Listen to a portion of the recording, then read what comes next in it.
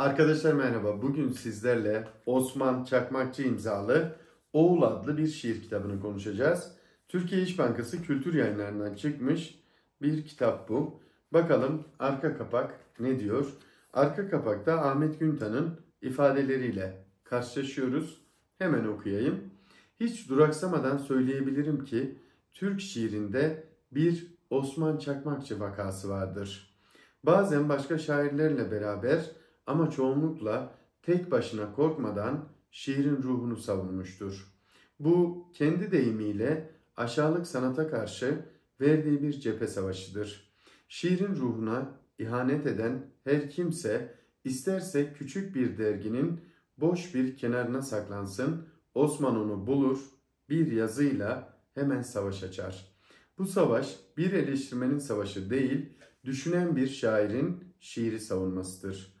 Oğul'daki şiirler Osman Çakmakçı'nın şiirin gösterişe ihtiyacı olmayan ezeli ruhuna tamamen teslim olduğu olgunluk şiirleri. Onun böyle bir çağda duygularının sadeliğine sığınmasını önemli buluyorum. Hissettiğiniz bir şeyler kaldıysa onları bir sanata tercüme etmeden önümüze koyun. İhtiyacımız olan şey bu. Ahmet Güntan böyle diyor. Benim bildiğim bir isim değildi. E, Türkiye İş Bankası Kültür Yayınları'ndan kitap alırken Osman Çakmakçı'nın da bu kitabını gördüm. Arka kapağındaki yazı dikkatimi çekmişti. O nedenle alıp bir bakmak istedim. Şimdi aldığım notlardan hareketle kitabı biraz tanıyalım. Oğul benim Osman Çakmakçı'dan okuduğum ilk kitap oldu. Çok ince bir kitap. 39 sayfalık bir şiir kitabıdır.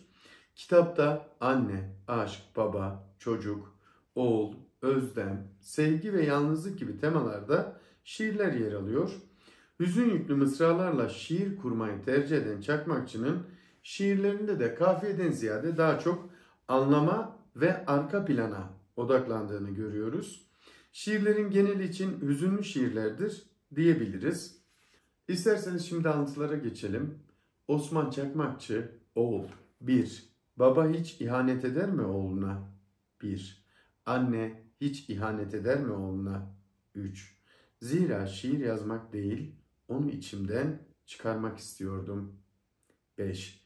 Nasıl koruyacağım seni ben kendimden, dünyaya budak olarak gelen kendimden. 10. Kendimi en mutlu sandığım anlar iyileşirken hastalıktan. 13. Yazık, ruhlarını barındıracak bedenleri olmayanlara. 21. Korlaşan ellerim. 27. Birbirlerine kendi hayatlarından başka verecek bir şeyleri yoktu. 27. Beni sevdi, biliyorum. Çünkü hiçbir şeye sahip değildi. 29. Durulmak için önce çalkalanmak gerekir. 29. Ancak hiçbir şeye sahip olmayanlar gerçekten sevebilirler birbirlerini. 31. Bir tutamaktı ellerin, tuttum, bırakmadım. Bir tutamaktı ellerim, tuttun, bırakmadın. 33. Tanrı herkese taşıyabileceği kadar yük verirmiş. 36.